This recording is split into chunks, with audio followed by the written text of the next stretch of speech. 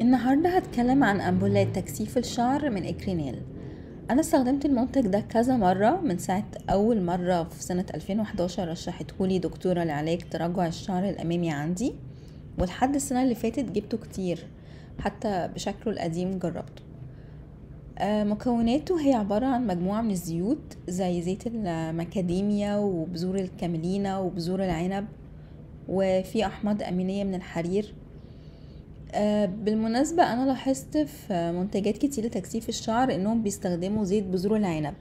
لو حد جربه وكان شايفه فعال ياريت يقولي في التعليقات عشان بفكر برضو أجيبه.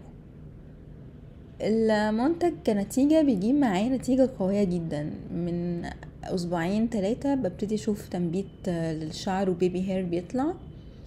أنا بستخدمه بس على مساحة محددة اللي هي تراجع الشعر من الجنب ناحية ما بفرق شعري. وما كنتش بحتاج آه، يعني آه، غير إن أنا أستخدم بس أربع أمبولات في المرة وكان بيرجع لي شعري تاني. آه، العبوة هي 8 أمبولات والأمبول نفسها صغيرة قوي خمسة ملي بس.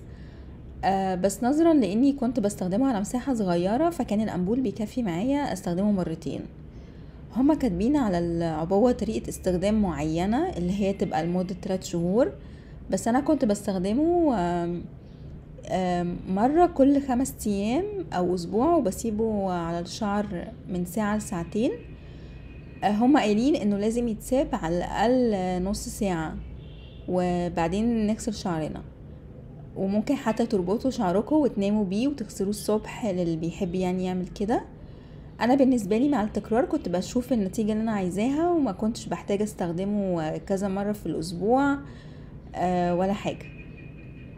والنتيجة بتاعته ثابتة فترة طويلة وما كانش شعري بيقع بعد ما بوقف المنتج. وهو زيت آه، بس خفيف ومع نفسي ما سببليش أي قشرة وكان بيتشطف من الشعر بسهولة من أول غسلة. ميزة إنه معمول أمبولات كمان إن المنتج بيفضل مقفول وصلاحيته 3 سنين فدايما كنت بستخدم أربعة وبشيل الباقيين أستخدمهم أي وقت تاني لما أحس إن هيبتدي يحصل تراجع تاني للشعر. والأنبول لما تفتحوها وتبقى فيها شوية لازم تسدوها من الهواء بالغطا اللي هتلاقوا غطا بلاستيك كده بيجي معاها لأن آه، لو سبتوها مفتوحة في الهواء بتنشف.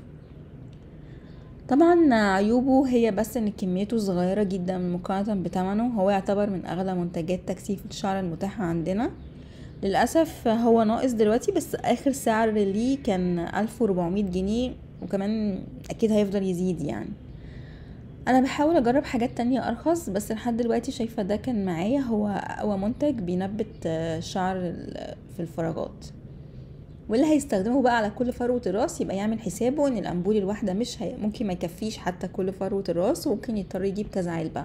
فاللي مش هيقدر من الأول إن هو يشتري كل ده يخلي استخدامه على مساحات محددة.